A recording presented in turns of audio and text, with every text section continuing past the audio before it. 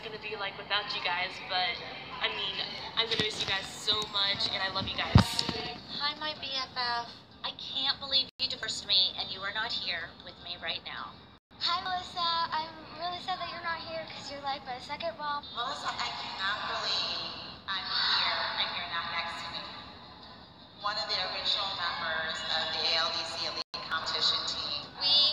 Not surviving without all your hairpins and everything. I'm gonna miss all of the crazy things you said, all of the good times we had. I miss having you feed me ice cream when my mom's not here, so can you please come back to LA? Hey Melissa, you know we're gonna shoot here. Your seat is probably never gonna be filled by anybody